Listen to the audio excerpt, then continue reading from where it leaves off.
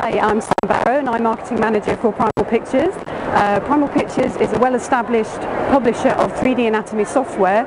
We've won lots of awards and uh, we're very proud to be presenting a very new product for us which is 3D anatomy for speech-language pathology. Uh, we pride ourselves on the fact that our 3D graphic models are extremely detailed. They're built from real scan data so it's very accurate and it's beautifully interactive. Just want to show you some examples of the imagery. This is the uh, really nice view of the floor of the oral cavity, for example. It's interactive. You can add and remove structures, label anything, use it as a very detailed anatomy atlas, and you can also print, save the images, which makes it really useful for both practitioner, education, also we have licenses in um, 600 institutions worldwide. So it's a really great product. If you'd like to find out more, we have a website, primalpictures.com. Uh, thank you very much.